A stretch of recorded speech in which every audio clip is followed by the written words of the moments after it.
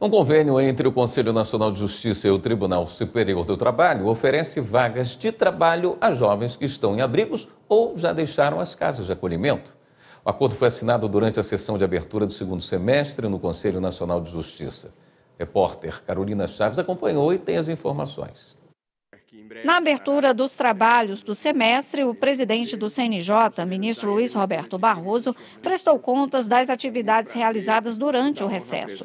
Ele citou as viagens à China e ao norte do país e também lembrou a abertura no fim de julho da 18ª jornada da Lei Maria da Penha.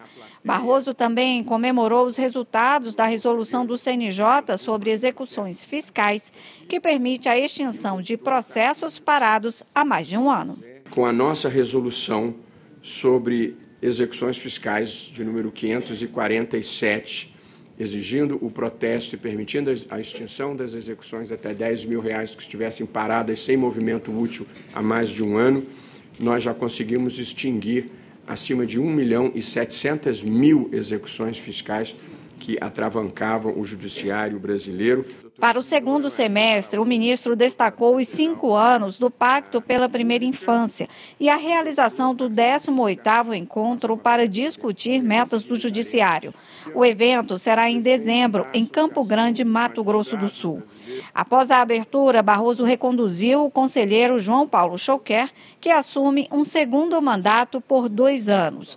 O conselheiro reafirmou o compromisso em defesa da democracia e dos direitos humanos e listou algumas causas que considera prioritárias. No primeiro mandato, já fizemos um pouco na condução de importantes políticas públicas do Judiciário, como o monitoramento e acompanhamento da pauta indígena, a luta pela equidade racial, o aprimoramento da segurança pública e da segurança institucional dos integrantes do Poder Judiciário brasileiro. Ainda na sessão de abertura, o Conselho Nacional de Justiça e o Tribunal Superior do Trabalho firmaram um acordo para ampliar o programa Novos Caminhos, destinado a jovens que estão em abrigos ou que já deixaram as casas de acolhimento.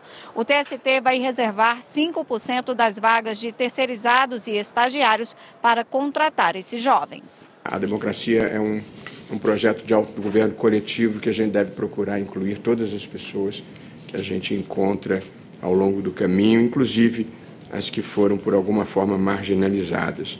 O Corregedor Nacional de Justiça, ministro Luiz Felipe Salomão, falou que esse projeto tem feito a diferença no estado de Santa Catarina, onde começou, e que com a ampliação vai ajudar muitos jovens. O programa já direciona esse adolescente para uma capacitação adequada para um trabalho onde oportunamente ele vai é, seguir, poder seguir dali com um emprego. O presidente do TST, ministro Lélio Bentes, destacou a importância do programa como instrumento para inserir esses jovens no mercado de trabalho. Como é forte